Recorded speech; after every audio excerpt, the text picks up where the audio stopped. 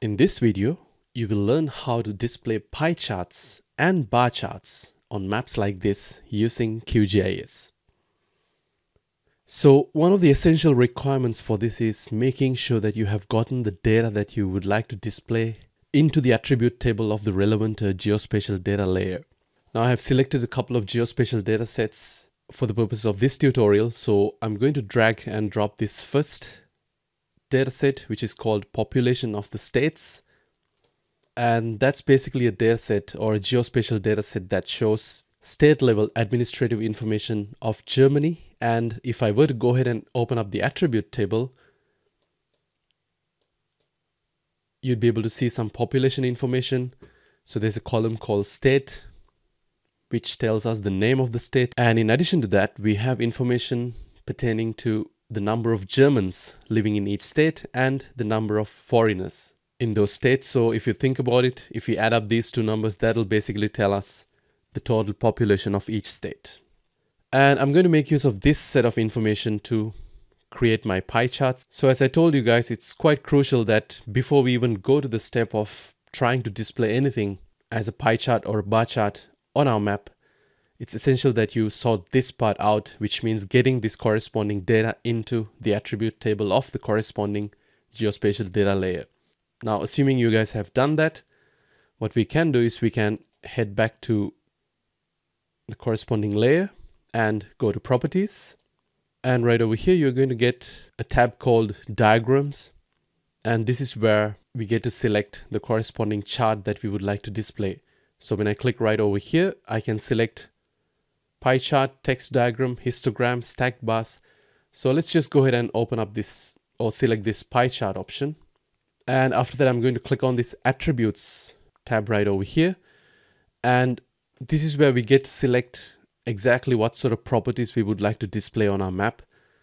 Now, if you can recall the attribute table, we had three columns. We had state, the number of Germans and the number of foreigners. And of course, the only information that I would like to display on the map as a pie chart would be just these two pieces of information. So I'm just going to sort of bulk select these two fields, Germans and foreigners. And after that, I'm just going to click on this plus sign, which is going to move just the selected attributes over to the right hand side so that QGIS knows what exactly to display. And uh, automatically a color gets assigned for each category. I'm just going to well, change this color to be something a little bit more vibrant like this. And without even touching any of these other properties, if I just go ahead and click on apply, well, you're going to get the pie charts like this. We can click OK and just exit out from here. And I think this pretty much covers most of the things that we wanted to get done. So for each state, if you zoom in, you can see that it's going to have its own sort of pie chart. And if you wanted to see what's the population division, you kind of can get a quick idea about the population division just by looking at this pie chart. And in case if you're confused about the two colors, you actually do have sort of a reference right over here, which says that the number of foreigners are displayed in this green color and the number of Germans are displayed in pink color. Now we'll take this just up a notch and see what sort of other settings we can actually play around with in order to make our pie chart a little bit more informative. So if you go ahead and click on rendering, you can control things like the opacity. Let's say if you drop this down all the way down, you can see that it affects the opacity of each pie chart. I'm just going to keep this at 100%. And in terms of the size, well, you can select the units right over here. I'm going to set this to millimeters and you can play around with the size. For example, let's say if I put something like 30, it's just going to increase the size of the pie chart. But I think something like 12 would be nice. And when it comes to placement, well, you can place the pie chart over the centroid of each sort of polygon. That's the default setting. But in case if you want to move it around just a little bit, Let's see if you're interested in keeping this maybe somewhere around the perimeter. You can actually click on something like this and that should move over to the perimeter. And instead of over centroid, you can actually keep it around centroid and specify a distance manually. let's see if I say 25 or something like that, then it's going to actually get adjusted. You can play around with this value according to what you're looking for.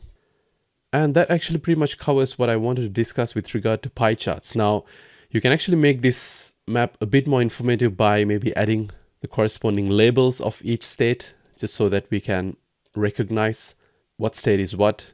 So under labels, if you select a single labels right over here, you again will have access to the three different uh, columns or field names. And from here, if you just select state and click on apply, that's going to display the corresponding state name. And along with that, if you want to make any changes to the regular symbology, for example, let's say if you want to go with a different color for the fill color, if you wanted to knock down the opacity just a little bit like this, well, you could do all sorts of stuff like that to make your map a bit more informative. And when we talk about a dataset like this, which displays the number of foreigners and Germans in each state, it actually makes sense to use something like pie chart because adding these two values still produces some sort of an intrinsic property about each state and that would actually give us the total population of each state. So definitely pie chart is a good choice for this option. But that's not to say that you can use any other types of charts. For example, let's say if you're interested in displaying the same thing using a bar chart, you could actually still do that by heading over to properties and this time instead of selecting pie chart, we can actually select this histogram option. Now, whenever you do that, if you simply just go ahead and click on apply, you probably won't see anything in the first instance because there's something quite crucial that you have to set, especially when you're dealing with histograms or if you are if you're interested in creating bar charts, and that's some size options which uh, doesn't get configured by default whenever you select histogram. Now, one thing you'll notice is that you can no longer select this fixed size option. So that's something that you have to deal with. If you wanted to create uh, bar charts, it automatically resorts to this scaled size option. Now over here, you have to select a couple of things. So bar length, it's, it's quite straightforward. Let's say I'm just going to go with an arbitrary value like 10. And over here, you have to select an attribute out of this. So the reason for doing this is actually for QGIS to determine what sort of a linear scale it should be using so it doesn't really matter whether you select Germans or foreigners. For example, let's say if I go with Germans, it lets us obtain the maximum value instantly by scanning for the maximum value under this Germans column, which gives us, well, the maximum population value like this whenever you click on this find button. And if you were to actually select foreigners, then you're going to find the corresponding maximum value pertaining to foreigners in this case. And as it says over here, the bar length is going to get adjusted or scaled linearly according to this. So a population value of 2,936,791 is actually going to get displayed with a bar length of 10. So a population value that's slightly higher than this is actually going to get displayed with a bar length that's slightly higher than 10. And a population of exactly half of this is actually going to get displayed with a bar length of 5. So that's how it actually manages to sort of automatically rescale the bar lengths accordingly, depending on how you decide to actually specify the attribute and the maximum value. So I'm just going to set this to be my maximum value. That's totally fine. And click on apply. And you can see now for each state, we managed to create a bar chart that looks like this.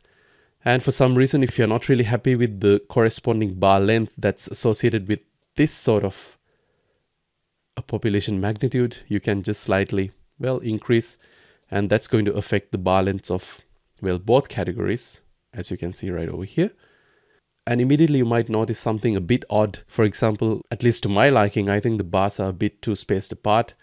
You can go to rendering and adjust things like the bar width and the bar spacing. I'm going to knock this all the way down to about 0.2 and see how that looks. Yeah, I think that looks fine. And uh, bar width, of course, if you want to flatten, well, not really flatten, but if you want to kind of expand this, the width of the bar horizontally, you can put something like 10 and that's going to increase the bar width. I think 5 is quite alright. So this is how you actually create bar charts on your map using QGIS. Now again, as I told you guys, depending on what sort of a property you're trying to represent, I think in this particular case, well, it's not terrible to actually use a bar chart, but I would have actually preferred something like a pie chart just based on the type of information that we are trying to represent over here. Now I'm going to give you guys a quick additional example. So I have another dataset called MHI, which I'm going to drag and drop it over here. So let's deactivate this for the time being. I'm going to zoom into this layer and well, this is a map of the US. And if I go ahead and open this up, that's actually going to show us the median household income of each state of the United States for the years 2020, 2021, and 2022. Unlike the previous dataset, you can see that adding these three for a particular state, it doesn't really tell us some sort of an intrinsic property about that state unless we specifically define a category called the total median household income. So I think bar charts are much more suited to represent this kind of discrete data. So just as a quick exercise, what I can do is I can right click over here and go to properties, select diagrams and go with histogram. Make sure that I select the three years like this. Select a few colors that's a bit more vibrant like this. And when it comes to size, again, I'm just going to go with maybe the population of 2022 column and going to find the maximum value like this and click on apply. Now, obviously, it's going to get cluttered up just because of the number of polygons that we have in this particular data set. So obviously, we're going to have to make some changes. I'm going to set the bar width to be only about 3 and the bar spacing to be about 0.2. Click on apply. And then I'm also going to maybe increase the bar size just a little bit and placement, I'm also going to select around centroid and as the label, I'm also going to select, well, the corresponding name of the state like this. And now if I zoom into the corresponding state, well, I would be able to see median household income corresponding to years 2020, 2021, and 2022 like this. And you probably might think that I could have even increase the bar size just a little bit more so that the differences of this uh, median household income would be a bit more apparent than what it is right now. But I think you guys get the basic idea. The objective of this tutorial is to actually explore the opportunities around creating pie charts and bar charts for maps like this using QGIS. Hope the tutorial was helpful for you guys. If you do have any questions, add a comment down below and I'll see you guys again with another tutorial like this.